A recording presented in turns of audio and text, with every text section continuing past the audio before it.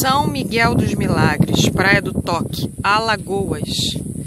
Maré baixíssima, gente. Maré de lua cheia, maré 0.1. Maré rara, que isso acontece uma vez no mês na lua cheia. Então seca bastante, o mar recua e a gente vê os arrecifes e essa beleza.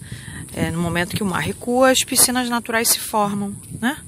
Tá aí, vale a pena, um lugar muito bonito.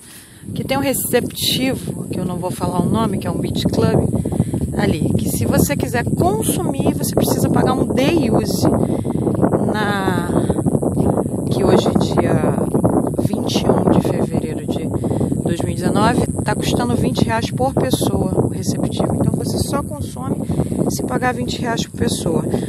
E, só senta também se pagar 20 reais por pessoa. Não recomendo, né?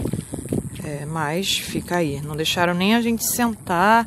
A gente quis consumir, mas para comprar uma cerveja, uma água, só em comprar tem que pagar mais 20 reais para poder sentar, galera. Então, traz tua água congelada aí de casa. É, porque eu não vi nenhuma outra opção ao redor daqui para tá comprando. Como eu tenho uma bolsa térmica, eu carrego uma garrafa congelada e ao longo do dia ela vai descongelando e eu tendo água para beber. Mas a gente gosta de sentar, né? Tomar uma cervejinha, um drinkzinho, mas só o que a gente consome, né?